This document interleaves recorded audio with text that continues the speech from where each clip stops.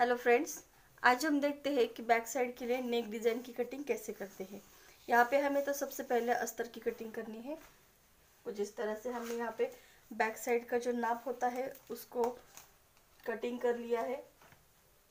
और अभी सिर्फ़ हमें खाली बैक साइड की नेक डिज़ाइन कटिंग करनी है। इस यहाँ पे हमने हाइट के अनुसार यहाँ पे जो मार्किंग है गले के लिए, वो भी हमने यहाँ पे किए है। दस इंच गला है तो आधा इंच हमने इसमें एक्स्ट्रा मिला दिया है। इस तरह से साढ़े दस इंच। अभी हमें यहाँ पे नीचे की तरफ़ दो इंच का पैच बनाना है। इसकी वजह से यहाँ पे हम दो इंच पर ये नीचे की तरफ़ गले को बढ़ा लेते हैं। अब यहाँ से हमें थोड़ा सा राउंड शेप ऐसे बनाना है। इस तरह से।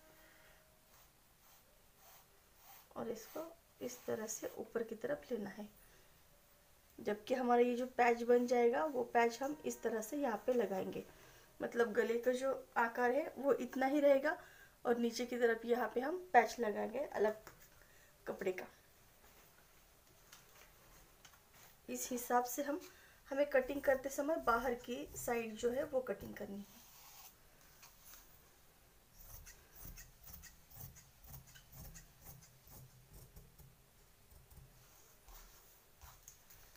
अब इसी के हिसाब से हम यहाँ पे ब्लाउज पीस की कटिंग कर देते हैं।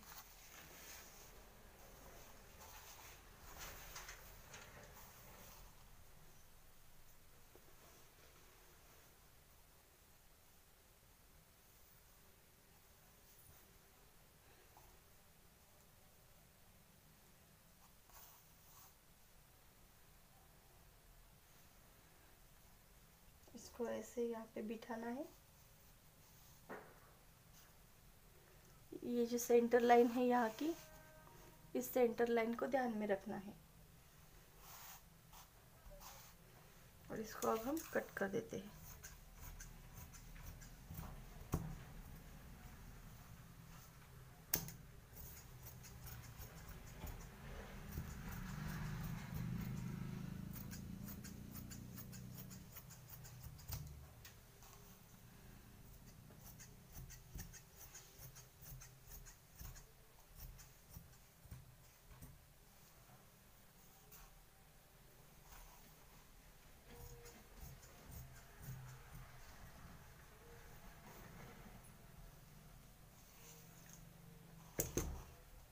गले को ये कटिंग करने के बाद वो कुछ इस तरह से दिखेगा।